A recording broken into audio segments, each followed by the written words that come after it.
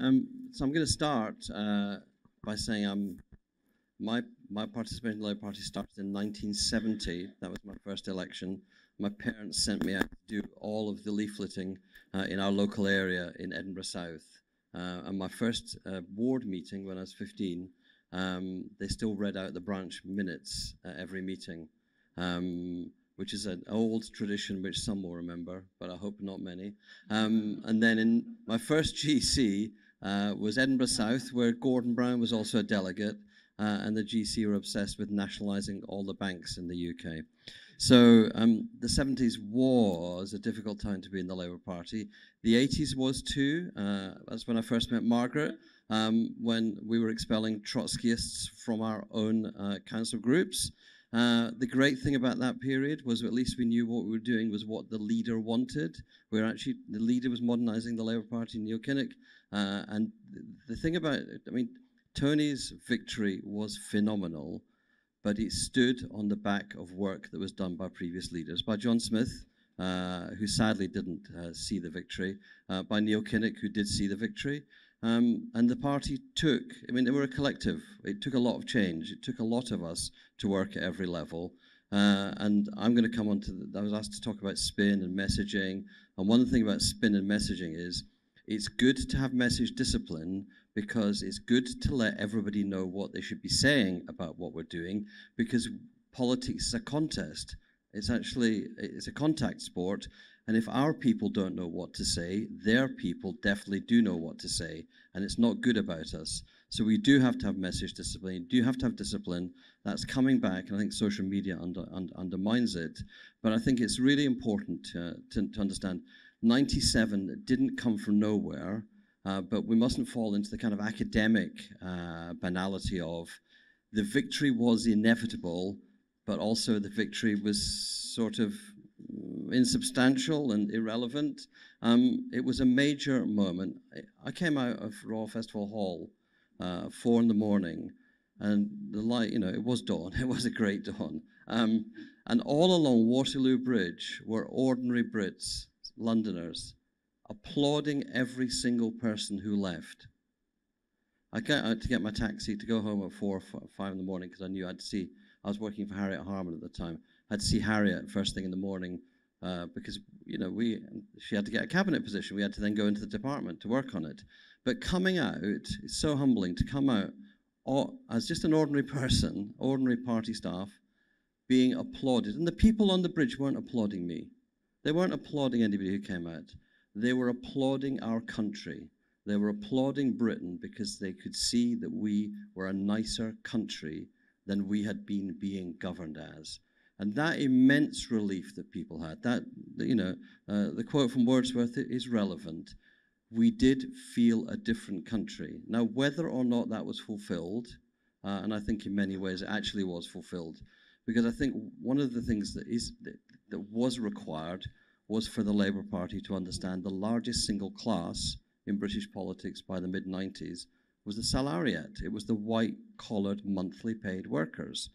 Labour did shift the class it paid attention to because we followed the working classes where they went. Working class people became middle class.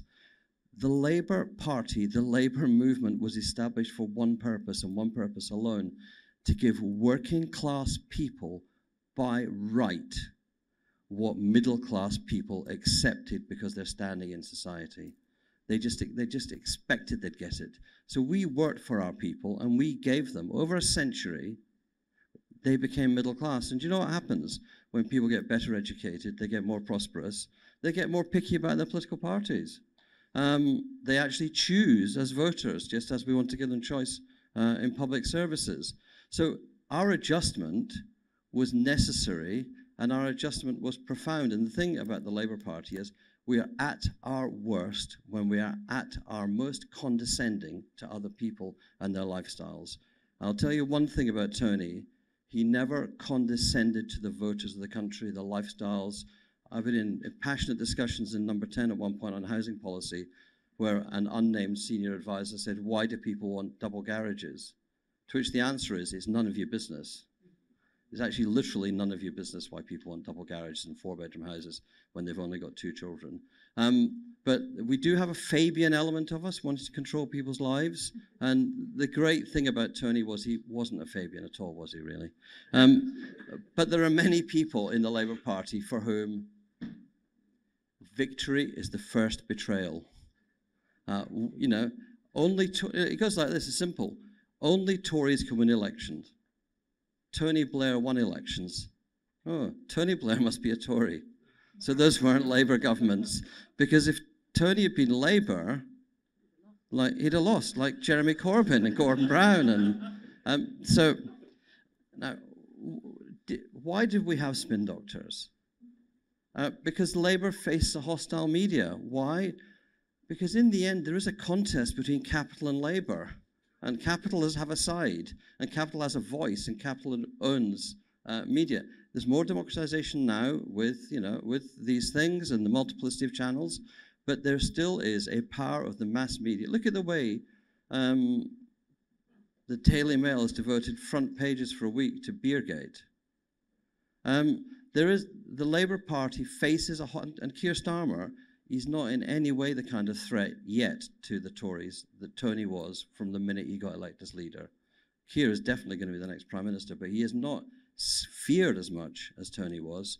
Uh, and so, what they're going to do, who knows, uh, over, the, over the next period. Uh,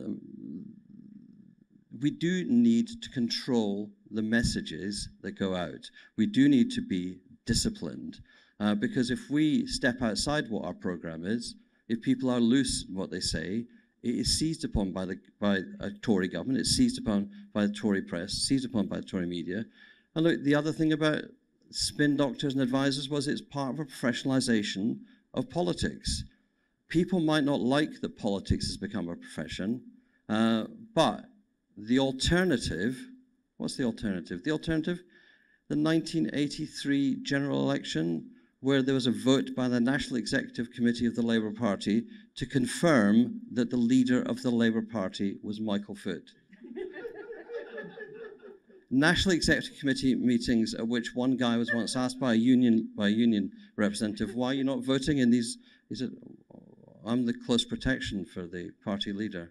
Um, we we've gone from a long way in the last Labour government before Tony, when Denis Healey had to signal from the floor of conference to be allowed by the chair. We had to have professionalisation. Um, it started with Neil, it carried on with John, but it, but it, but it came to its full with when Peter and Tony and Gordon worked together, and when Alastair Campbell was brought on board, and that brought to us a professionalisation to send a message across. Now, did we make a difference? We made a profound difference. We increased workers' rights every year that we were in government. We not only did that, we increased employment, reduced unemployment, increased employment, increased workers' rights every year. That's a major thing. It's actually, I know people don't like to hear it, it's actually a, a direct rebuttal of the notion that Labour is neoliberal. Neoliberals believe that giving workers rights increases unemployment. We disproved that in office. So, did we make a difference? I could go through a whole list and we could all do the whole afternoon on that. Did it backfire on us to have spin doctors? I don't believe it did. Because I think ha- not having message discipline, not controlling the media cycle, we would have been in a lot, a lot more difficulty a lot more quickly than we were. What happened, it's not surprising, the, both the press and the public modernized the way they consume politics. It's right to say, as Stephen said, that modernization doesn't stop. But there's a banality about some of the things that are said about New Labour, as if we would today say 1997 is the template for winning in 2022 or 2024.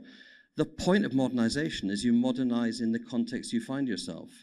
The difficulty, I mean, the, the, the, the, Cor- the Corbyn, I mean, the, the, the Corbyn proposition, Jeremy Corbyn when he was leader of the Labour Party, if he did an event at the weekend, took time off during the week. He treated the job as party leader as a 40 hour week. So, probably time and a half. Probably if you do half a day on Saturday, you take a day off during the week. He genuinely did that. Now, that isn't modernization. I think, I think Corbyn was a portrayal of Corbynism. I think Corbynism asked some difficult and profound questions about the modern economy came up with the totally wrong answers, but started to answer, ask some of the right questions. But did we, did we need to modernize? Yes. Should we have carried on modernizing? Yes. Should we have stopped losing? Yes. Should we have, as Tony used to say, you know, you can't win every election. That's one of the false, one of the false accusations of Tony is that we lost at the end of it, right? You can't keep winning. What you have to be is competitive at every election after you lose. And what we managed to do was go, we lost in 2010. What the public was saying, they voted Tory because they wanted a more left-wing Labour Party. And we tried that 2015. Then we lost in 2015. What the public want? A more left-wing Labour Party. Tried that in 2017. Didn't win that election. Um, tried it in 2019. We tested that notion to destruction. So in the end, I think I have two, you know, there's, there's, there's one observation and one regret.